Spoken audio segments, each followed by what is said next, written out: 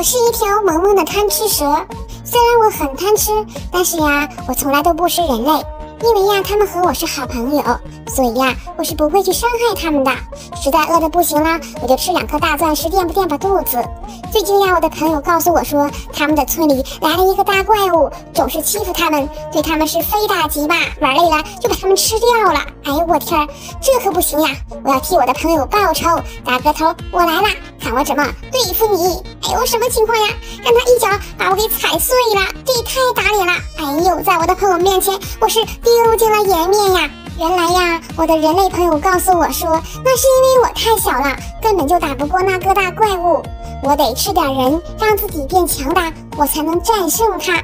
可是你们是我的朋友，我怎么能忍心下得去嘴呀？但是我的朋友说了，只要能保住他们的村庄，他们宁愿牺牲自己。我太感动了，我是含泪吃了几个小人呀。现在我变强大了，这个大怪物我又来啦！这一次我是不会放过你的，你还想踢我呀？现在我变强大了，你是踢不到我的。我现在呀要把你缠起来，哎，我现在开始用力了，可是我还是不够大呀，这一圈还不够，怎么查呀？哎呦，又让他把我打的是稀巴烂碎呀！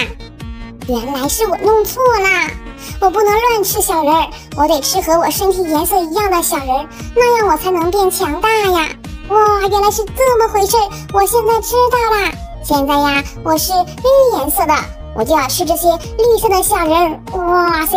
我变得这么老大了，我现在已经变成一条真正的巨型贪吃蛇啦！前面那个大怪物，你怕了吗？我告诉你，你不要跑，就在这里等着我。现在我来对付你，我要战胜你，把你赶出去，保卫人类的村庄。我现在把你缠起来了，你现在动不了了，把你一下给击碎啦！